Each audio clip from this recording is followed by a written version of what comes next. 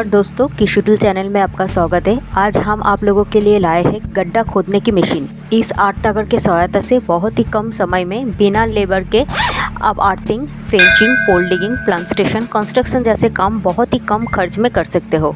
और भी जानकारी के लिए स्क्रीन पे दिए हुए नंबर पे कॉल करें या फिर हमारे कृषि टूल वेबसाइट को विज़िट करें।